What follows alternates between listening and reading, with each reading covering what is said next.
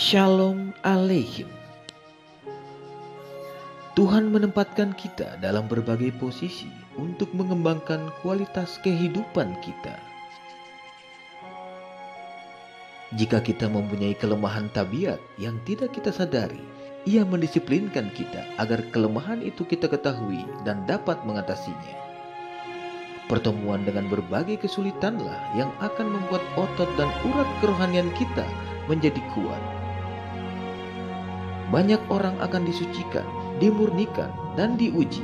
Oleh karena itu hendaklah kita bijak dalam menyikapinya.